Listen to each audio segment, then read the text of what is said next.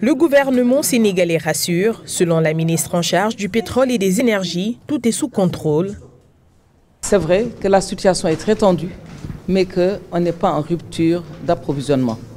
il y a d'habitude des méthodes de travail, c'est-à-dire les compagnies travaillent entre elles et font des échanges de produits.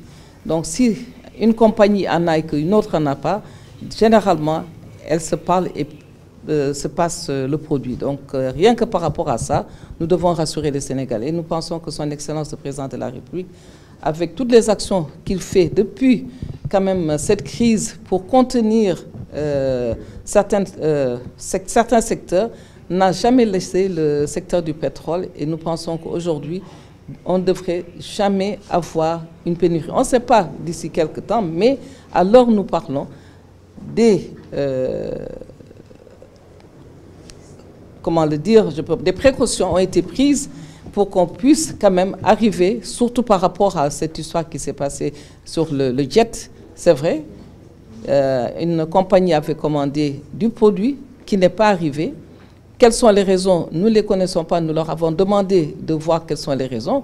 C'est dommage que SNKD, malheureusement, a voulu alerter, mais est allé trop loin par rapport à son alerte. Et je pense que nous avons tenu cette réunion pour pouvoir en discuter et voir qu'est-ce qu'il était possible pour l'avenir.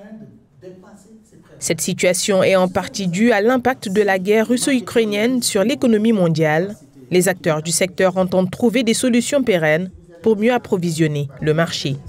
Les molécules euh, même des différents produits, super, gasoil euh, ou pétrole brut ou même le jet, deviennent difficiles à trouver sur le marché. Donc euh, nous travaillons conjointement euh, tous les jours, au jour le jour. Madame la ministre le disait aussi euh, ce week-end, nous, étions en, relation continue euh, avec le ministère pour nous assurer de trouver la, continuité de l'approvisionnement du marché. effectivement, ce week-end, une notification disant de limitation de stock a été sortie par la société de stockage du jet dans l'aéroport AIBD la société SMKD. Euh, le stock était euh, toujours disponible, mais il fallait aussi notifier les différentes compagnies pour leur dire euh, attention, le, stock est un peu limité.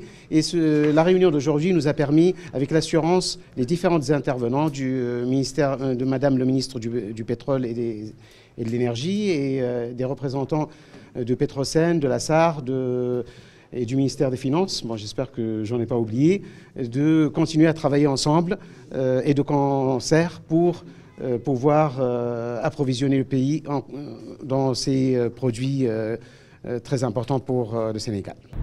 De nombreuses compagnies aériennes à destination de Dakar avaient dans la foulée pris leurs dispositions face aux notames émis par la Société de manutention de carburant Aviation. Le groupement des pétroliers annonce un appel d'offres commun pour mieux satisfaire les besoins du pays.